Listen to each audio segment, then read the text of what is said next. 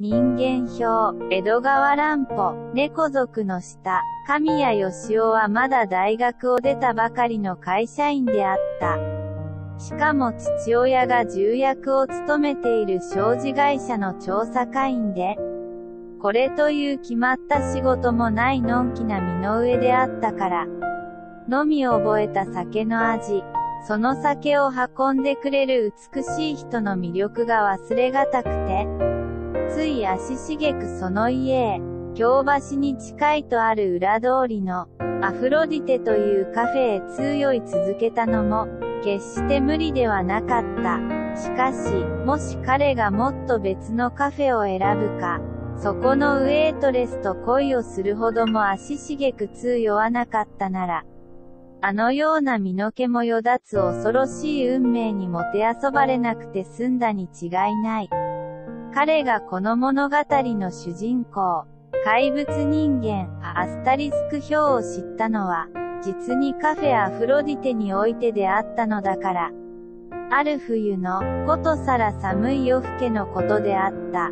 神谷はまたしてもカフェアフロディテの片隅のテーブルに腰を据えて、イスキーをちびちびと舐めながら、ウェイトレスのヒロコと差し向かいで、もう3、4時間ほども意味もない会話を取り交わしていた。今日は変だね。まだ11時だのに、僕の他には一人もお客さんがいないじゃないか。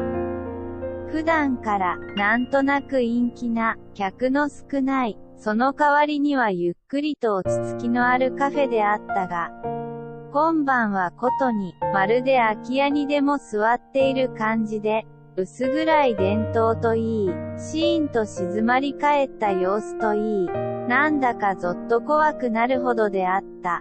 まびって言うんでしょう。きっと。外は寒いでしょうね。でも、邪魔がなくって、この方がいいわね。ひろこは格好の良い唇をにっと開いて、神谷の好きな刃場を見せて甘えるように笑った。すると、ちょうどその時、入り口のボーイが客を迎える声がして、コツコツと靴の音をさせながら、一人の男が入ってきて、一番隅っこの城の鉢植えの影のボックスへ、人目を避けるように腰を下ろした。神谷はその男が歩いている間に、風彩や要望を見て取ることができたが、彼は真っ黒な背広を着た、ひどく痩せ型の足の長い男で、その顔はトルコ人みたいにどす黒く、頬が痩せて鼻が高く、びっくりするほど大きな何かの動物を連想させるような両目が、普通の人よりはずっと鼻柱に近く迫って、ギラギラと光っていた。年配は30歳ほどに見えた。神谷はそれからまたしばらく、ひろこと楽しい蜜子を囁き交わしたが、その間も、城の要員の客が、なんとなく気になって仕方がなかった。彼はこんなへんてこな感じのする人間を、まだ見たことがなかった。ひろこも同じ心と見え、話しながら、絶えずその方をじろじろと見ていたが、とうとう我慢ができなくなったように、囁き声で訴えた。嫌だわ、あの人、最前から私の顔ばかり見ているのよ。ほら、あの要因から大きな目で、私の肩をじっと見つめているのよ。気味が悪いわ。何気なくその方を見ると、なるほど、城の葉の隙間に、ホタルビのように異様に光る目が、猫がネズミを狙う感じで、いるようにひろこに継がれている。あれ初めての人、ええそうよ、あんな人見たことないわ。失敬なやつ、神谷は聞こえよがしに舌打ちして、相手の目を睨みつけたが、すると、先方でもそれに気づいて、鋭い視線を神谷に向けた。何くそ、負けるもんか、と彼は寄っていたので、睨みっくらでもする気になって、じっと目を据えて、しばらく睨み合っていると、不思議なことには、相手の眼中の蛍火がだんだん強く輝き出し、姉妹には目の前いっぱいに、得体の知れぬ陽光がひらめき渡って、くらくらとめまいを感じないではいられなかった。そして何とも言えぬおかんが首筋をぞーっと這い回った。あんなやつ、気にするのよそうよ。君も向こうを見ないでいる方がいい。あいつどうかしているんだよ。当たり前の人間じゃないよ。ええ、じゃあ、もう見ないわ。しかし、やがて、無関心を装っているわけにはいかないことが起こった。ええ、ひろしちゃん、あたし困っちゃったわ。怪しい客の相手をしていたウェイトレスが、まがかに寄った顔をして、二人のテーブルに近づくと、声を落としていった。あの人がねどうしてもあんたに来てほしいって言うのよ。いやよ、そんな失礼な。あたしは、よしっちゃんのお相手してるんじゃありませんか。ええ、そりゃわかってるわ。だから番が違うからってお断りしたんだけれど、聞かないのよ。酔っ払っちゃって、乱暴しかねないのよ。ちょっとでいいから、顔を出してくんない。それを聞いていると、神谷はムカムカと感触が起こってきた。ダメだって言いたまえ、人の話している相手を横取りするやつがあるか。ぐずぐず言ったら僕が言ってやるよ。すると、ウェイトレスは一度帰って行ったが、すぐ引っ返してきて。じゃあ、そのお客さんに会いたいって言うのよ。こちらへ押しかけそうにするのを、やっと止めてきたの。ひろしちゃんご賞だから。と、泣きそうに言う。よし、じゃあ僕が言ってやる。神谷は立ち上がって、あらいけませんわ、と二人の女が取りすがるのを、突きのけるようにして、つかつかと、城の影のボックスへ入っていった。僕に用事があるそうですが、と、寄っているものだから、少しばかりうるさ型に詰め寄った。男は、グラスも、ウイスキーの瓶も、テーブルの上に倒してしまって、恐ろしい目を据えて、皿のビーフステーキを、めちゃめちゃに切り刻んでいたが、神谷の声を聞くと、ひょいと顔を上げてニヤニヤと笑った。ええ、用事があるんです。用事というよりはお願いなんです。僕、あの子が好きになっちゃったんです。会わせていただけませんか？案外おとなしく言われたので返事に困っていると。会わせてください。でないと、僕、自制力を失ってしまうかもしれません。僕を怒らしちゃいけないのです。ごらんなさい。僕の口を、僕の口を。見ると、彼は歯ぎしりを噛んでいるのだ。奥歯をギリギリ言わせてふんどを噛み殺しているのだ。そして、じっとこちらを見つめている目が、大きく大きく開いて、また異様な輪光が燃え始めた。だって君、それは無理じゃないか。あの子は僕の馴染みなんだぜ。それを横取りしようなんて。神谷は虚勢を張った。いけませんか？いけませんか？男は咳き込んで尋ねる。ええ、困りますね。ああ、僕を救ってください。僕は自制力を失いそうです。もし自制力を失ったら、彼は歯を気味悪く鳴らしながら、何を思ったのか、げんこつを作っていきなりテーブルを殴りつけた。幾度も幾度も殴りつけているうちに、指の関節が破れて、血が流れ始めた。そのテーブルに滴った血の上を、無残にもさらに殴り続ける。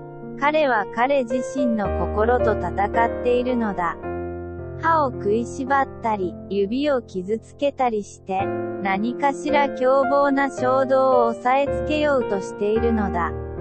だが、それにもかかわらず、ともすれば、こみ上げてくるけだもののような怒りが、彼の全身をわなわなと震わせ、両手の五本の指が何かにつかみかかるように、醜くキューッと曲がってくるのだ。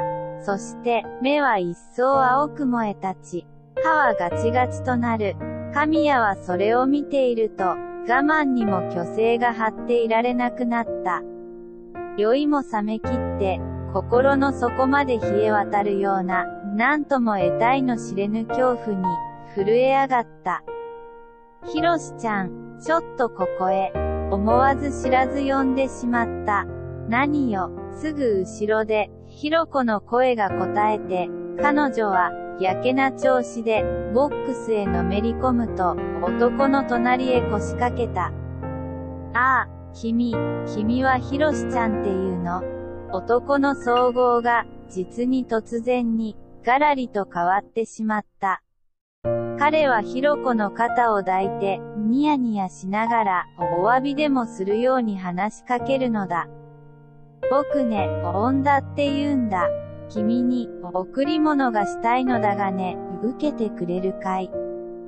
彼は前に見張っている神谷の肩を、気まずそうに盗み見ながら、大きな口をペタペタ言わせて囁いた。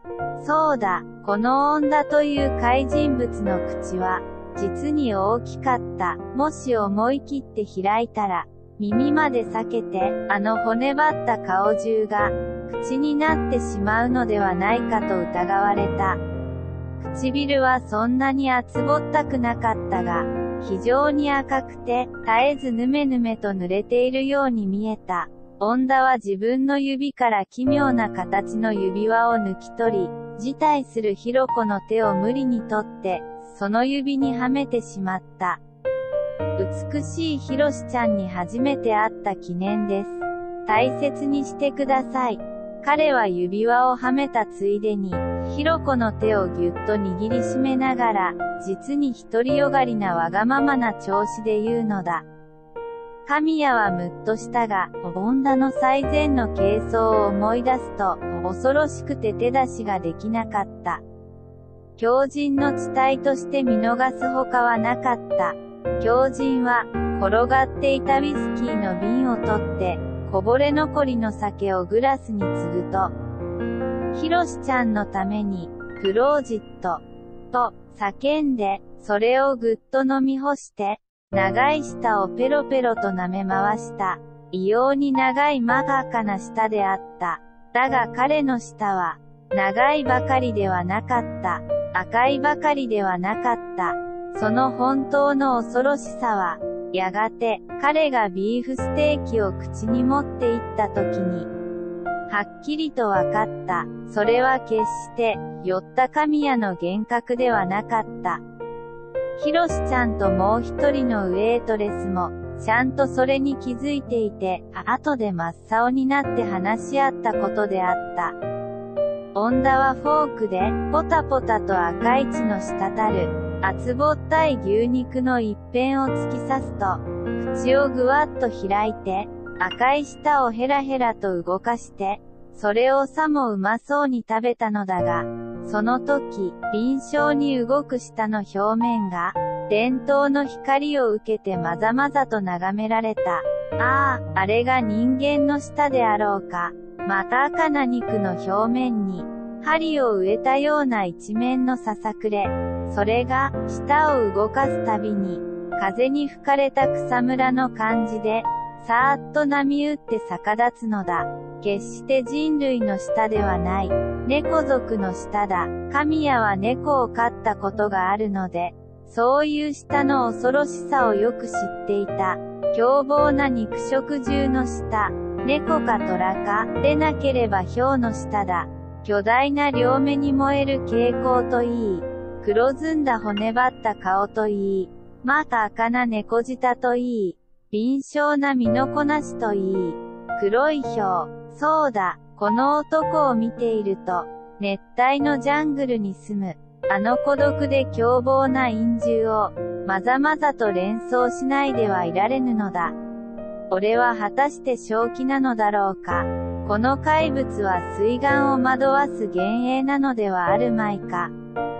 それとも俺は今、悪夢にうなされているのかしら。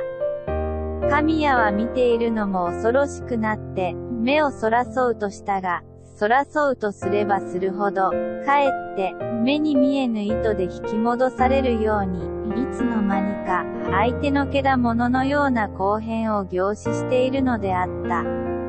闇にうごめく、恋人を保護したいばかりに、恐ろしい思いをこらえこらえて、怪物と同じボックスに滞在していた間が、どんなに長く感じられたことか。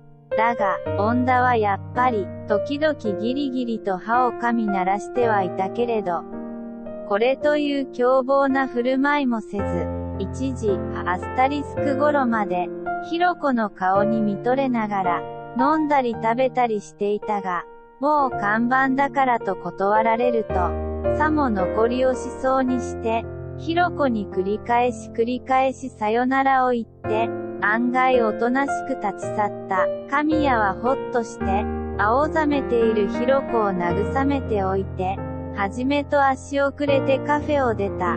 人通りの全く途絶えた。夜更けの裏町には、氷のような黒い風が、悲しげな音を立てて吹きすさんでいた。神谷は突然、アスタリスク砂漠の中へ放り出されたような寂しい気持ちになって、帽子を押さえながら、タクシーを拾うために、近くの大通りへと歩いて行ったが、ひょいと、その街角を曲がると、大通りの青白い街灯の下に、最善の恩田が立っているのが見えた。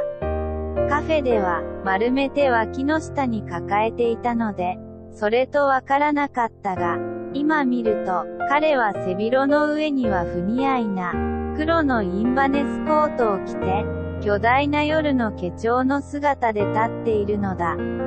風が吹きすぎるたびごとに、そのインバネスの裾や袖が、ひらひらと、コウモリの翼のように翻っている。神谷は怖いもの見たさに、じっと立ち止まって、西洋の古い物語に出てくる魔法使いみたいな女の姿を見つめていると、彼は突然、黒い風に向かって、妙な叫び声を立てながら、だだっこのように地団打を踏み始めた。ただの寒さしのぎではない。気が違いそうに興奮しているのだ。どうにもならない衝動を、そうして紛らしているのに違いない。神谷は、不思議な引力のようなもので、怪人に引きつけられていた。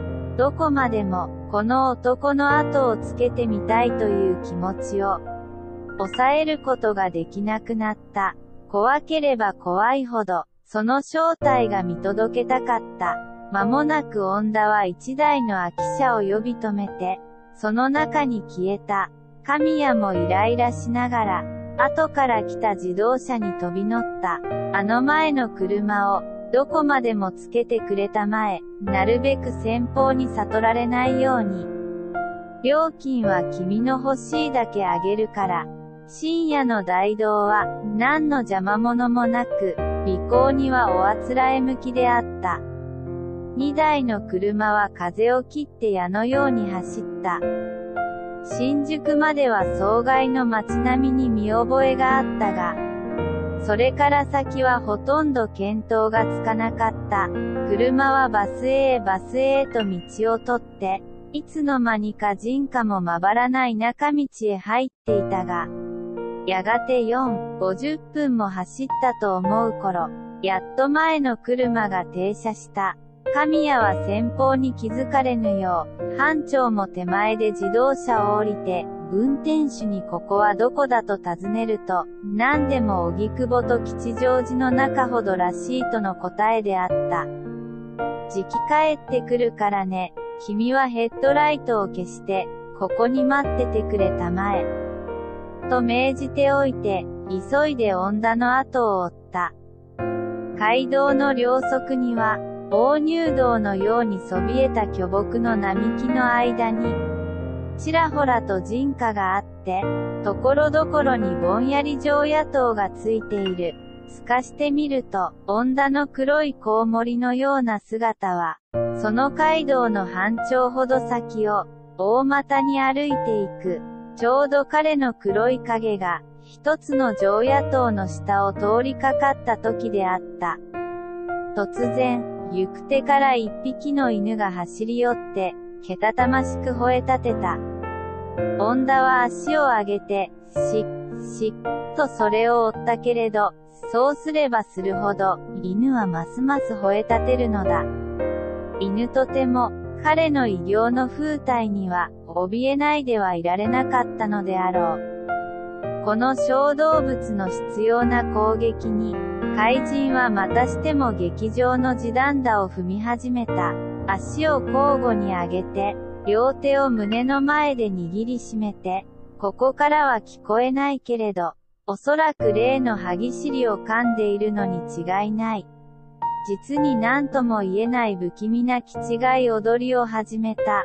それを見たら、人間ならたちまち震え上がって逃げ出すのであろうが、犬は逃げるどころか、かえってますます勢い激しく挑みかかった。すると、次の瞬間、ああ、実に恐ろしいことが起こったのだ。神谷はその時の凄まじい光景を、いつまでも忘れることができなかった。怪人は、異様に鋭い叫び声を立てたかと思うと、パッとインバネスの羽を広げて、まるで一匹の猛獣のように、哀れな犬に飛びかかっていった。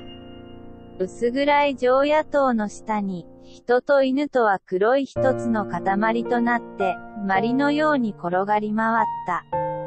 人も犬ももはや声さえ立てず、恐ろしい沈黙のうちに戦った。だが、この段違いの争いは長くは続かなかった。黒い塊が、ぱったり動かなくなって、そろそろと立ち上がったのは恩田の影であった。立ち上がると、そのまま振り向きもしないで、立ち去った彼の後に、ぐったりと横たわっているのは、かわいそうな犬の死骸だ。神谷はその犬の死骸に近づいてみて、さらに旋律を新しくした。犬は無残にも口を引き裂かれて、また赤な血の塊になって倒れていたのだ。ああ、なんという怪物だろう。あいつは人間ではない。人間がこんな残酷な真似をするものか。それにこの恐ろしい力はどうだ。あいつは犬の上顎と科学に両手をかけて、メリメリと引き裂いたのに違いないが、並々の力でそんなことができるものだろうか。神谷は相手のあまりの残虐におじけづいて、よほどそのまま引っ返そうかとも思ったが、彼の執念深い好奇心は、怖さに打ち勝って、両手に油汗を握りしめながら、またも怪人の後を追った。しばらく尾行していくと、恩田は街道をそれて、雑木林の中の細道へ曲がった。そのまばらな雑木林の遥か向こうに、星空を区切って、はじめと村の森のようなものがある。その中にちらちらと明かりが見える様子では、立ち木に囲まれた人家に違いない。恩田はあの原中の一軒家へ帰るのであろうか。街道の常野党を遠ざかるにつれて、雑木林の中は、だんだん闇が濃くなって、その闇の中に黒い影を尾行するのは非常に困難であった。だが、やがて雑木林を出外れると、どうしたことか、つい今しがたまで、おぼろげながらも見分けられた女の影を、ぱったりと見失ってしまった。紛れやすい林の中では、ちゃんと尾行していたのに、闇とはいえ眼界の開けた星空の下に出てから、突然彼の姿が消えてしまったというのは、実に異様な感じであった。その辺は田や畑はなく、一面に荒れ果てた草むらになっていて、道らしい道もなく、夜露に濡れた枯れ草が気味悪く足にまとい、ともすれば水たまりに踏み込みそうで、歩くのも難儀であったが、神谷は、せっかくここまで尾行した怪物を、このまま見捨てて帰るのも残り惜しく、星空に透かして、四方を見回しながら、向こうの木立の中の明かりを目標に、おぼつかなく進んでいった。ふと気がつくと、二、三軒向こうの草むらが、さわさわとなっていた。風かしら、風に枯れ草がなびいているのかしら。だが風にしては一箇所だけに音がするのは変だ。彼は少し不気味になって、立ち止まって耳を澄ましたが、空にはやっぱり風が吹き渡っているのに、最善の物音はぱったり止んでしまった。歩き出すと、また同じ方角から、さわさわと音が聞こえてくる。立ち止まると、ぱったり止んでしまう。我と我が足音に怯えているのかしら。いや、どうもそうではなさそうだ。試みに、足音を盗んでそっと歩いてみたが、やっぱりさわさわと草むらを分けて風の吹きすぎるような音がする。都会の雑踏から遠く離れた武蔵野の深夜は、冥府のように暗く静まり返っていた。音と言っては空吹く風、光と言っては瞬く星の他にはない。その、この世とも思われぬ暗闇の草原に、風とは別の物音が絶えては続いているのだ。神谷はあまりの不気味さに立ちすくんだまま、動けなくなってしまった。そして、音のした方角をじっと見つめていると、草むらの間に、輪のように青く底光りのする二つの玉が現れた。この寒い自分、ホタルがいるはずはない。蛇でもない、闇にも光る猫族の目だ。あの黒い豹の目だ。二つの光るものは、だんだん光を増しながら、じっとこちらを睨みつけて動かなかった。あいつだ、怪物はなぜか草むらに身を横たえて、神谷の姿を伺っているのだ。実に長い長い間、異様な暗中の睨み合いが続いた。神谷はもう気力がつきそうであった。恐ろしさに失神せんばかりであった。その時、ああ、その時、地上に伏した怪物が人間の声で物を言ったのだ。まるで地獄の底から響いてくるような、陰気な声で物を言ったのだ。おい、すぐに帰りたまえ。俺は君なんかに干渉されたくないのだ。そして、輪光を放つ両目が向きを変えて見えなくなると、黒い影が低く地上を張ったまま、さーっと草を分けて遠ざかっていった。彼は一度も立ち上がらなかった。立って走るのではなくて、両手を地面につけて、けだもののように駆け去ったのだ。神谷はわずかに残る気力をぶい起こして、元来た道へと、息の続く限り走った。十数年も忘れていた少年の心に帰って、何かに追っかけられでもするように、死に物狂いになって逃げた。走っても走っても、逃げきれない悪夢の中のもどかしさを感じながら、海屋の会、神谷義雄は、その翌日から一週間、風邪をひいて熱を出して寝込んでしまった。怪物を尾行して夜更けの寒い風に当たったためでもあったが、一つには、あの怪しい輪行にいられ、もののけの巻きを感じたせいであったかもしれない。会社を休んでしまったほどだから、無論カフェアフロディテを訪れることもできず、その間にヒロコの身の上にどのようなことが起こっているのか、少しも知らなかったが、やっと起きられるようになって、久しぶりのヒロコの笑顔を楽しみに、カフェへ行ってみると、意外なことが起こっていた。ひろこは3日ほど前、銀座の資生堂まで買い物に行ってくると家を出たまま、それっきり行方不明になって、警察にも訴え、実家の方でも血眼になって探しているのだが、未だに消息がわからないというのだ。あのひろこが、神谷以外の男を愛して、駆け落ちをしたなどとは想像できないし、他に家出をしたり自殺をしたりするような原因は、少しもなかった。彼女は誘拐されたのに違いない。だが、銀座の真ん中で、女給をさらうというような無茶な真似をする男が、今の世にあるだろうか。あまりに人間離れのした非常識ではないか。しかし獣類の世界では、おお、そうだ、獣類の世界では、そんなことは日常、アスタリスクサハンジだ。本能の命ずるままに、何をしでかすか知れたものではない。この犯人は、きっと、あいつに違いない。草むらを蛇のように張っていったあの女のやつに違いない。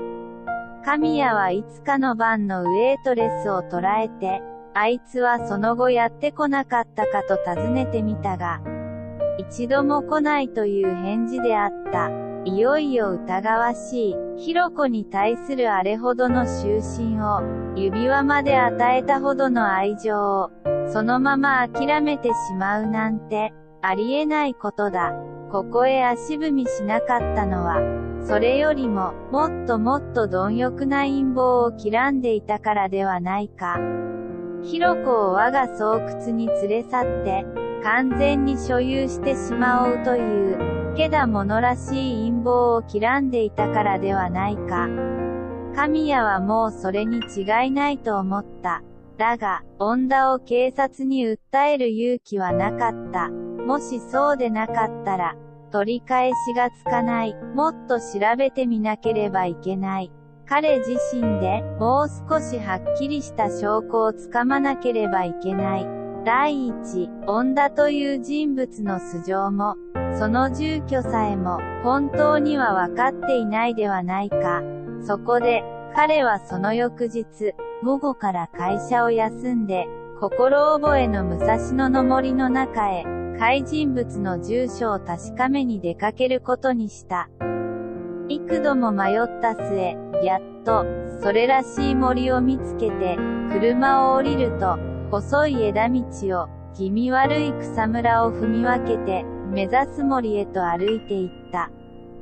空は一面にどんより曇って、風もなく、寒さはそれほどでもなかったけれど、そよとも動かぬ草の葉、森の梢が、何かしらこの世のものならぬ感じで、思い出すまいとしても、先夜の恐ろしかった記憶が蘇って、ともすれば逃げ出したい衝動に駆られるのを、恋人のためなればこそ、やっとこらえて、ついに草むらを通り越し、薄暗い森の中へと踏み込んでしまった。そこには、高い常盤木に取り囲まれて、異様な建物が広がっていた。青く苔むしたレンガ塀、今時こんなものが残っていたのかと驚くほど。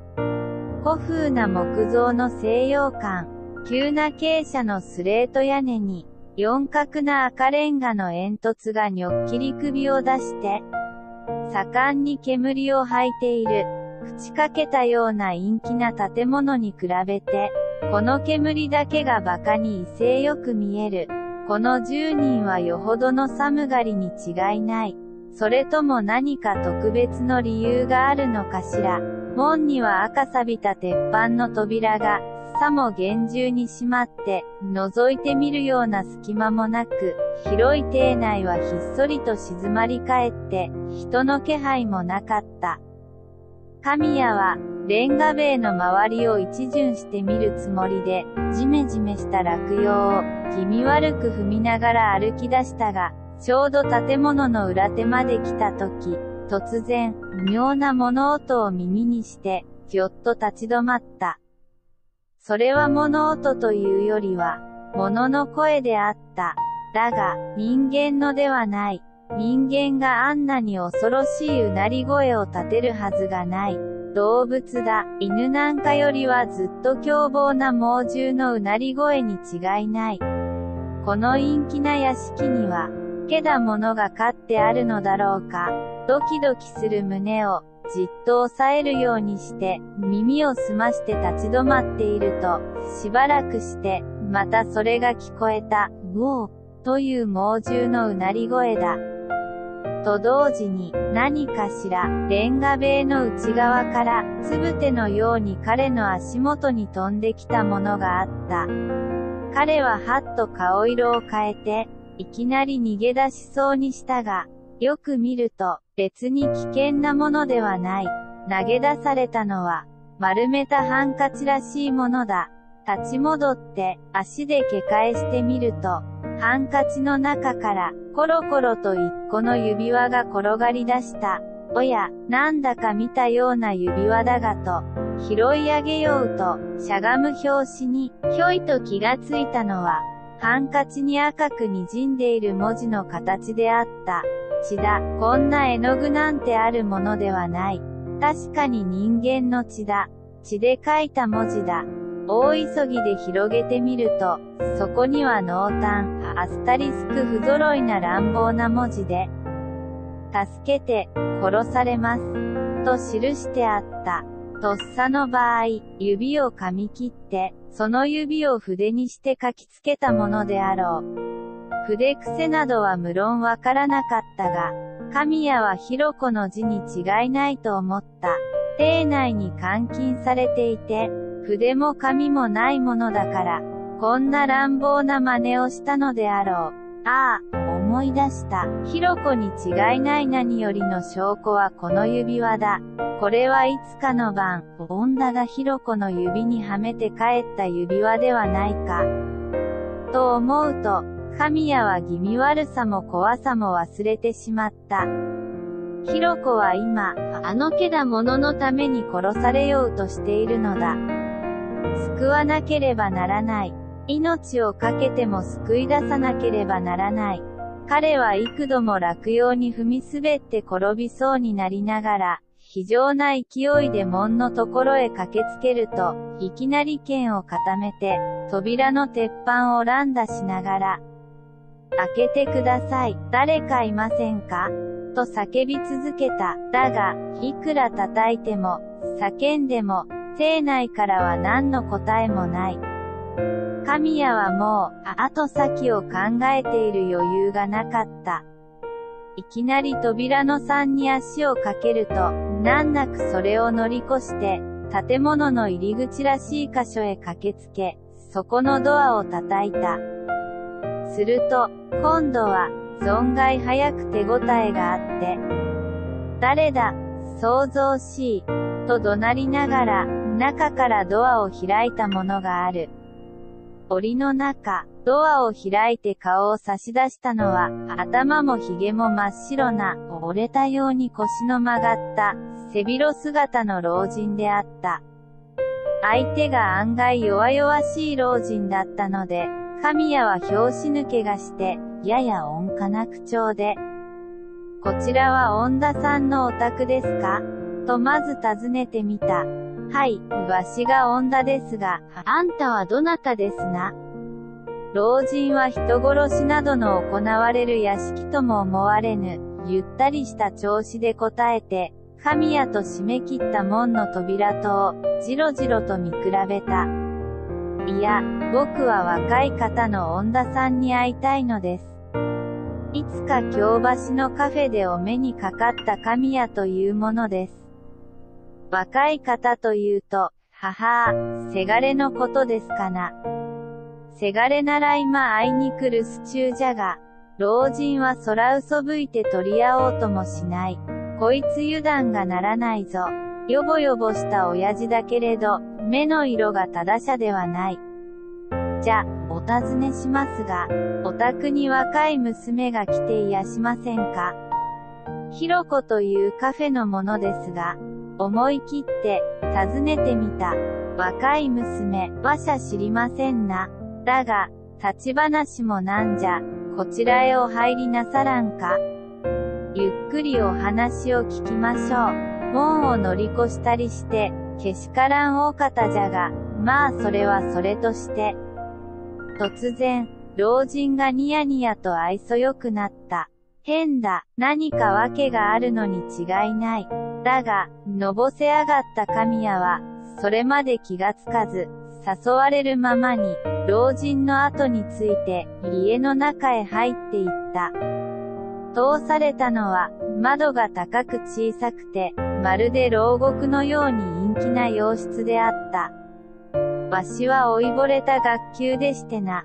世の中の交際もしておらんので、お客をもてなす部屋もありませんのじゃ。いかにも老人の言う通り、それは実に異様な部屋であった。一方には大きな本棚に、金文字の汗た古ぼけた要所がぎっしり詰まっているかと思うと、一方の棚には、薬剤であろう、レッテルを貼り付けた大小様々のガラス瓶が、埃まみれになって並んでいる下に、実験台のようなものがあって、たくさんの試験管、フラスコ、ビーカー、蒸留機などが雑然と置いてある。また別の一宮には、ガラス張りの棚があって、何かの動物の人間のよりは平べったいドクロが三つも四つも、目の久保に埃を溜めて転がっているかと思うと、その下の段には、下界の使うような、不気味な銀色の道具箱が、半ば赤サビになって、ずらりと並んでいる。ガラス棚の横手には、大きなろくろみたいな機械が据え付けてある。まるで中世紀の練り金術師の仕事場だ。部屋の真ん中には、村役場にでもありそうな、ニスの剥げた机があって、その傍らに二脚のこぼれかかった椅子が放り出してある。老人はその椅子に腰掛けて、神谷にもかけるように進めた。さあ、おかけなさい。せがれも今に帰るでしょう。せがれが帰らないと、わしには何もわかりませんのでな。ご覧の通り、こんな研究に没頭しとりますので、神谷は、もっと奥の方へ踏み込んでみたかったけれど、そうもならぬので、せかせかとまた同じことを繰り返して尋ねた。本当にご存知ないのですか？いくらなんでも、同じ家の中に、よその娘が閉じ込められているのを、あなたが知らないはずはないでしょうが。え、え、なんとおっしゃる。娘が閉じ込められている。そりゃ何かの間違いでしょう。わしにせよせがれにせよ、そんな悪者ではありません。一体何を証拠に、そんな言いがかりをなさるのじゃ。老人は底光のする大きな目で、睨みつけながら、決めつけた。証拠が見たいとおっしゃるのですか？